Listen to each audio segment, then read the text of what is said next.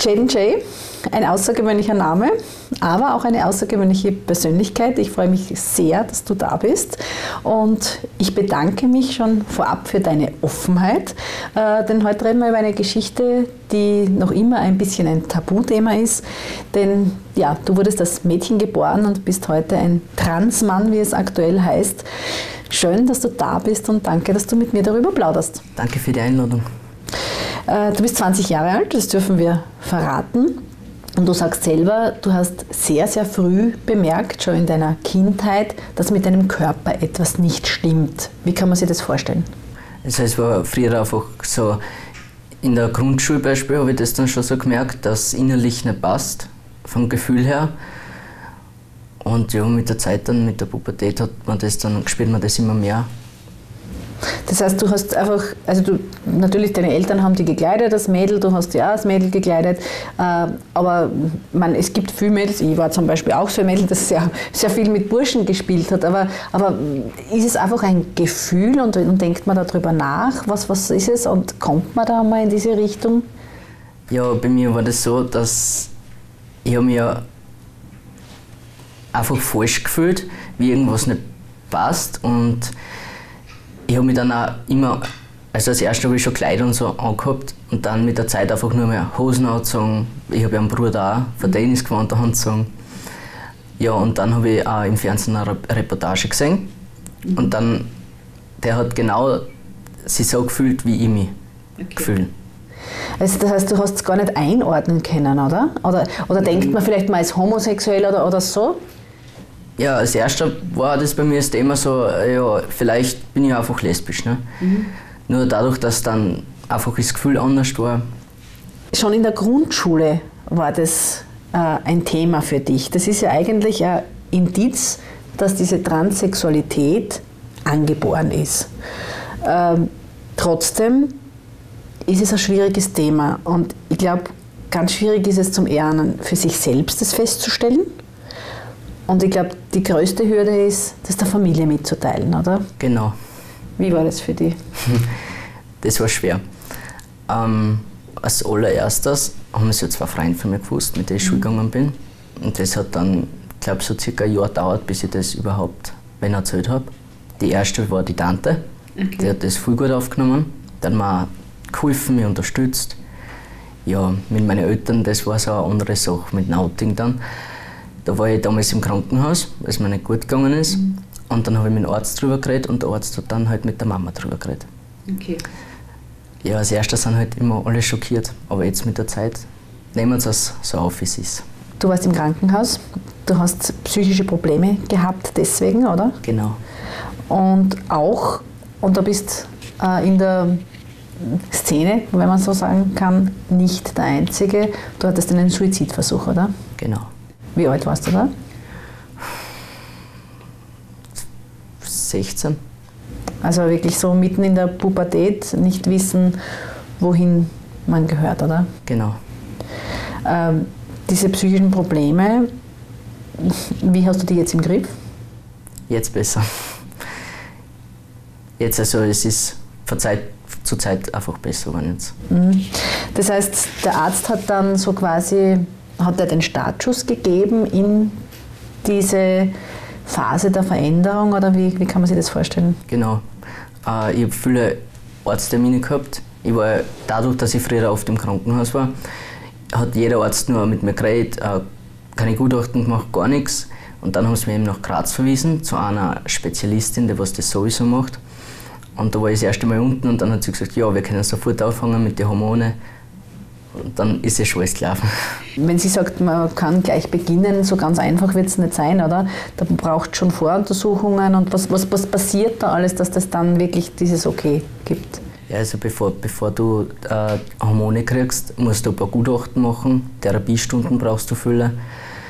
Ja, und dann alles Blutwerte und alles, muss alles passen. Was war für dich so das Zeichen, das, das typischste Zeichen, dass du völlig falsch im Körper bist? Ja, weil das einfach gefühlt habe, weil es einfach innerlich wie, wie ein Gefängnis ist, mhm. wo du halt einfach nicht raus kannst. Du hast vorher gesagt, deine Freunde hast das erzählt. Was haben die, wie haben die reagiert eigentlich? Die haben gut reagiert. Die haben mich eigentlich ja vorher schon, bevor es, also die haben es ja nicht so gewusst, aber die haben mich vorher schon so behandelt wie jetzt. Also auch, ja. Aber ich glaube, ähm, natürlich, jetzt haben wir gesagt, für die Familie ist es schwierig. Äh, Im schulischen Umfeld ist es wahrscheinlich auch nicht für jeden leicht. Und wir wissen, Kinder, Jugendliche können sehr, sehr gemein sein. War Mobbing ein Thema für dich? Ein großes Thema. Wie ich damals in Brucks Schule gegangen bin, habe ich die erste, zweite Klasse gemacht. In der zweiten Klasse, wie es dann halt alle gewusst haben, wie man dann auch die Haare abgeschnitten habe, sind sie mit einem richtig umgegangen, alle.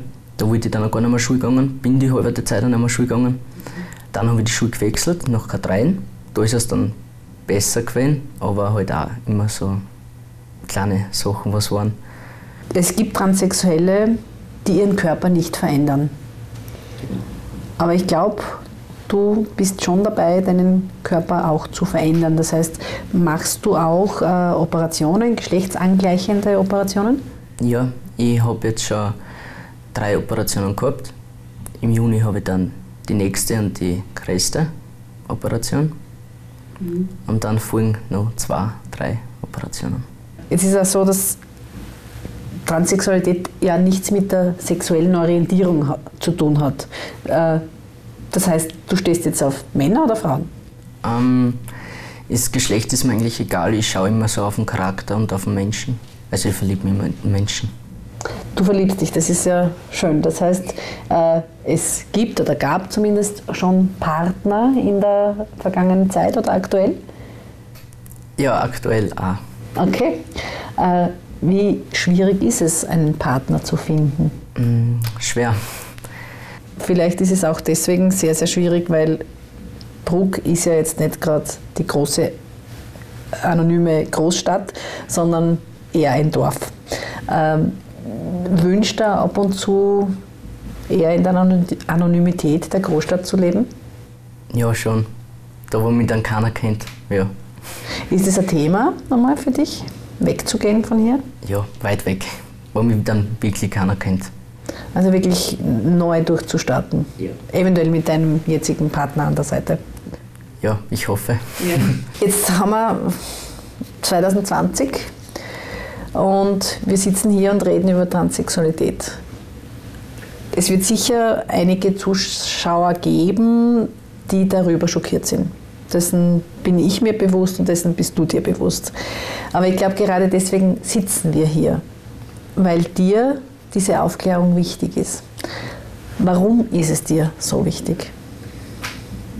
Weil ich einfach glaube, dass das heutzutage normal ist, so zu sein, wie man ist und dass man jeden so nehmen kann, wie er ist. Wir reden hier, du hast da schon ein Zeitungsinterview gegeben und du klärst sehr, sehr viel auf über soziale Medien. Wie läuft das da ab? Äh, ich poste immer Fotos oder in meine Stories was so die nächsten Schritte sind. Oder wenn ich gerade den nächsten Schritt habe, Beispiel OP-mäßig, da schaue ich halt, dass ich genug Informationen tue ins Internet. Ja, und dass dann halt alle Bescheid wissen, wie das weitergeht. Das heißt, seit 2017 kann man dich auf Instagram ähm, begleiten auf deinem Weg. Das heißt, du zeigst dich auch zum Beispiel nach der Operation, wo die Brüste weggenommen wurden? Okay, was gibt es da für Reaktionen drauf? Oh, die meisten sind eigentlich ganz gut.